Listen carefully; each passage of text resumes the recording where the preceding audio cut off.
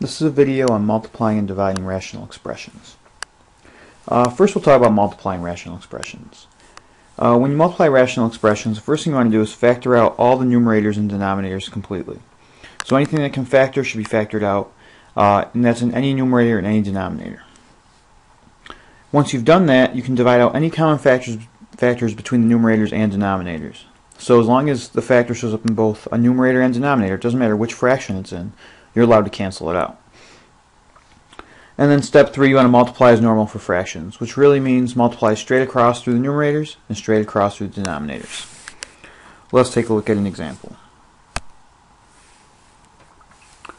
So for our first example, multiply, we have x squared plus 7x plus 12 uh, over x squared minus 2x. And we're going to multiply that by x squared minus x minus 2 divided by x squared plus 5x plus 4.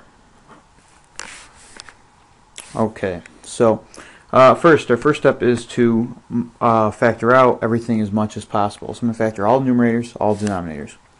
So for my first numerator here, I have x squared plus 7x plus 12. I'm going to take a look at see if there's a GCF. In this case, there is no greatest common factor to factor out. I have three terms, and I don't see a number in front of my x squared, so right away I can make two sets of parentheses. And I need numbers that multiply to a 12 and add to a 7. So we need x in front of each of these because we need an x squared. And numbers that multiply to 12 and add to 7 are a positive 4 and a positive 3.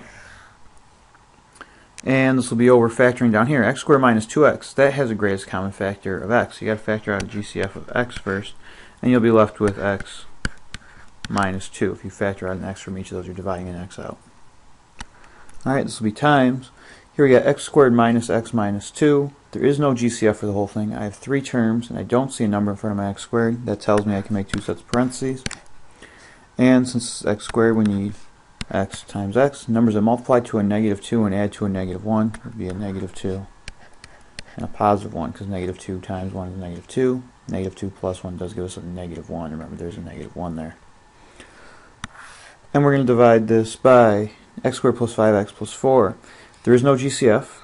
I have three terms and I don't see a number in front of x squared, so again, two sets of parentheses. x in the front of each of them.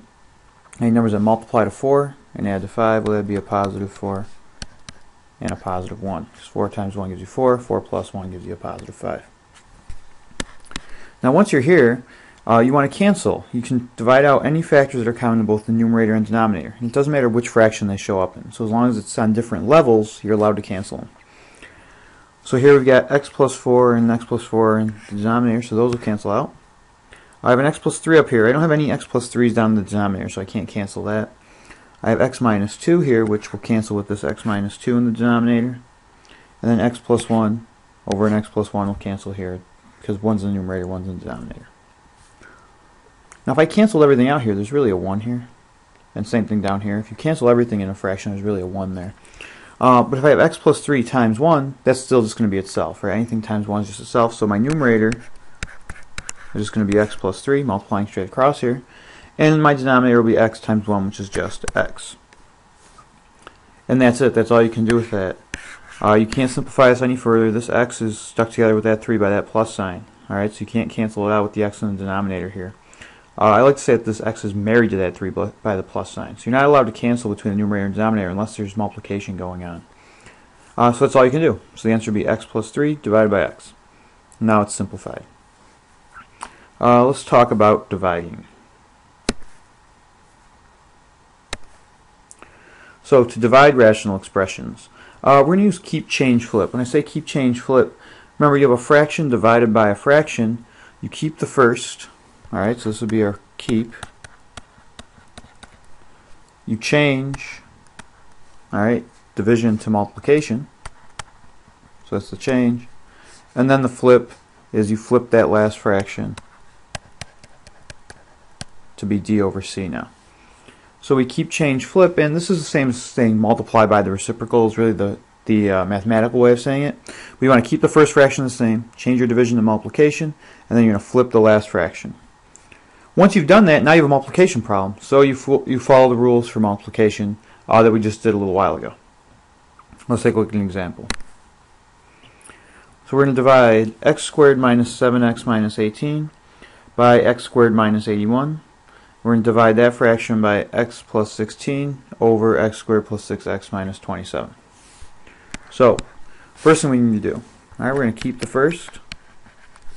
We're just going to write that exactly as we see it. x squared minus 7x minus 18 over x squared minus 81. We're going to change division to multiplication. So it's going to be times. And now we're going to flip this last fraction. So we're going to have x squared plus 6x minus 27 over 8x plus 16. Once we're here, now we have a multiplication problem. So we're going to follow the rules for multiplication, which means factor everything completely. I have x squared minus 7x minus 18 here. Uh, there is no GCF for the whole thing. I have three terms, and I don't see a number in front of my x squared, so I can make two sets of parentheses right away. We're going to have x and x makes it an x squared. I numbers that multiply to a negative 18 and add to a negative 7, and those numbers would be a negative 9 and a positive 2 over, I have x squared minus 81 down here. There is no GCF. I have two terms, and I have two terms, I should check to see if it's a difference of squares. Difference meaning that it's a negative sign in between. Squares meaning that each of these has to be a perfect square. And it is, because x squared is x times x, so that's a perfect square. 81 is 9 times 9, so that's a perfect square. So when I have the difference of squares, I can make two sets of parentheses. We need an x squared in front, so we need x times x. And then one of these has to be positive, one has to be negative because it has to multiply to a negative 81, so we have positive 9 and negative 9. And there'll be times, factoring out the numerator here, we have x squared plus 6x minus 27. There is no GCF. I have three terms. I don't see a number in front of my x squared. So I can make two sets of parentheses, x in the front of each of them. I need numbers that multiply to a negative 27 and add to 6. And those numbers would be a positive 9 and a negative 3. 9 times negative 3 is negative 27. 9 minus 3 does give us 6. And then down here I have 8x plus 16. Uh, there is a GCF here. 8x and 16 have an 8 in common. Remember, you always have to factor a GCF out if you can. And then we have uh, an x plus 2 left over, dividing out 8 from each of those. Alright, once we're here, remember you're following the rules of multiplication, which say that anything in the numerator can cancel with anything in the denominator as long as they're identical. So, x minus 9 will cancel with x minus 9 here. This x plus 2 can cancel with this x plus 2 because they're on different levels. This x plus 9 can cancel with this x plus 9. x minus 3 doesn't have anything to cancel with here. And then in the denominator we got 8 here, but that can't cancel with anything up top. So over here, remember there's really a 1 if you cancel everything. Same thing down here, there's really a 1. And you're just multiplying straight across. 1 times x minus 3, well 1 times anything is just itself, so we get x minus 3 over the denominator is 1 times 8 which is just 8. And our answer would be x minus 3 over 8. Alright, here's one for you to try on your own.